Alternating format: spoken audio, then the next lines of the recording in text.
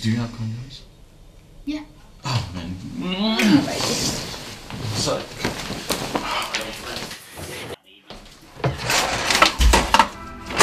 Sweetie, I can't see the condoms. They're not condoms.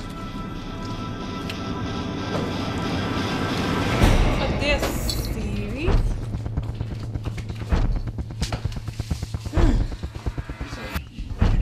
Oh yeah, she did. She did. We are all here. So this is you. This is you, Steve.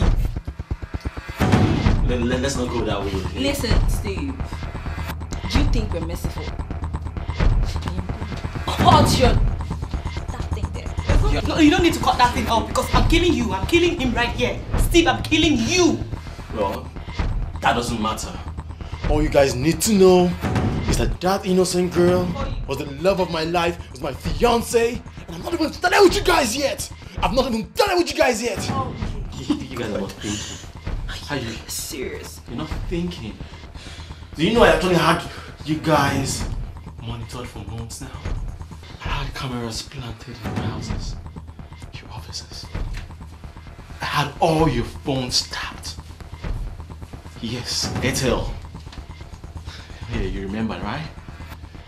Do you think that your fiance not showing up at your magazine premiere was just something that happened?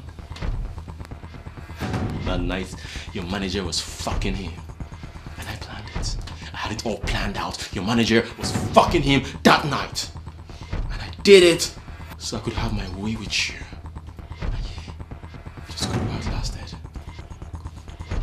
Oh, Nikki. Lisa. oh, little Lisa. Now, do you think that Fred showing up in the restaurant was just a mistake? I could have killed you if I wanted to.